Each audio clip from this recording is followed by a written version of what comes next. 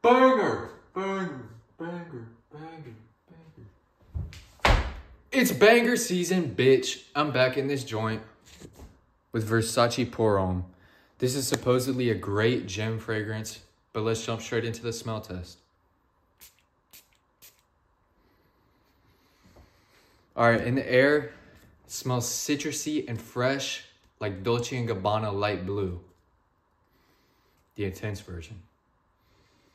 Mm, up close, yeah, citrusy and fresh, a little bit powdery, a little bit musky.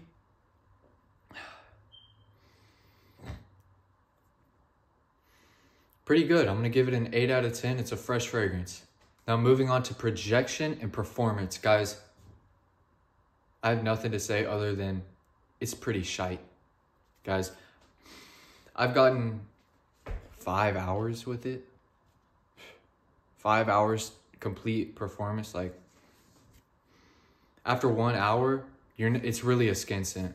So, performance and projection, guys, I'm giving it well, it is a fresh fragrance, so I have to cut it some slack, but I'm going to give it a 7 out of 10. Now, overall, you know, with the price, it's I think it's like 70 bucks. Let me let me check real quick.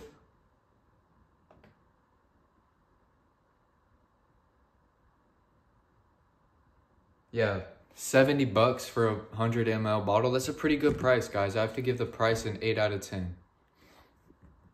Um, would I recommend buying this fragrance?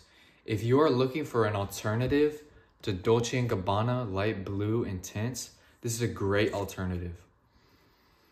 And if you're looking for an alternative for it, I would actually say get Pour Homme. It's a great fresh fragrance, great summertime fragrance, just like uh, light blue intense.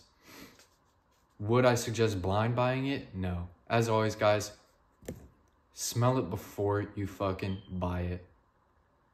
And you know what?